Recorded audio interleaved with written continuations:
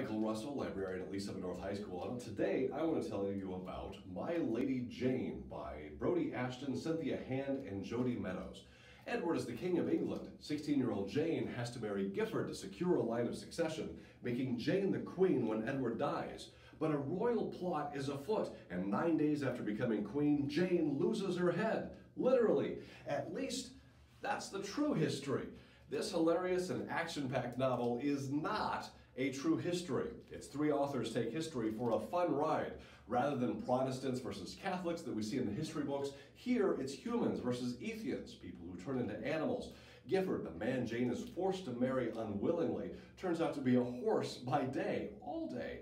There's action, there's daring escapes and fights with giant bears, there's intrigue with treasonous plots against the crown, and there's romance with a little bit of kissing parts later in the book.